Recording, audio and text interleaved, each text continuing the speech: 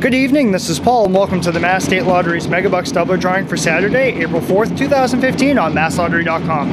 Tonight's estimated jackpot is $800,000. Now let's see how you did in tonight's drawing. Our first number is 46. Following that is 45. And here comes 25. Next is 34 followed by 11, and finally 48. Once again, the winning Megabucks doubler numbers for Saturday, April 4th are 11, 25, 34, 45, 46, and 48. Remember to log on to masslottery.com, Facebook, and Twitter to watch all the Mass State Lottery's drawings. Good night.